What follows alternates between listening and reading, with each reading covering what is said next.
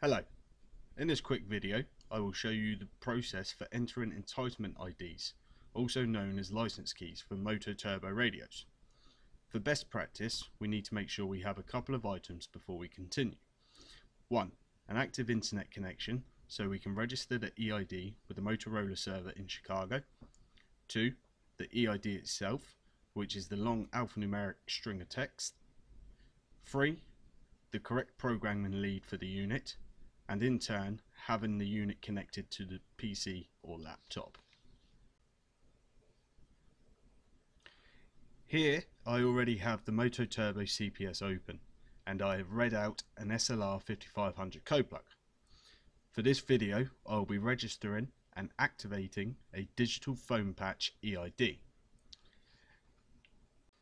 To do so we select the features drop down menu and click the register device features.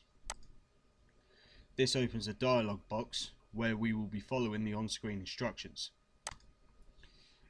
Here we enter the entitlement ID including the hyphens in between. We're now displayed with what feature we will be registering, the quantity available and how many were ordered.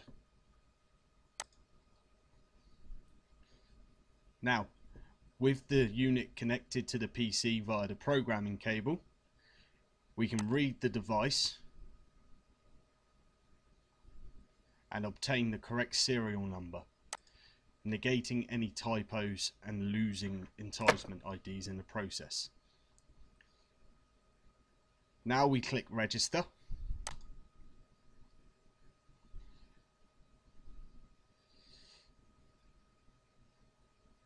activate.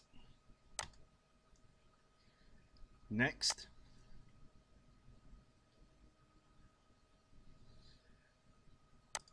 Digital phone patch in this instance will now be activated.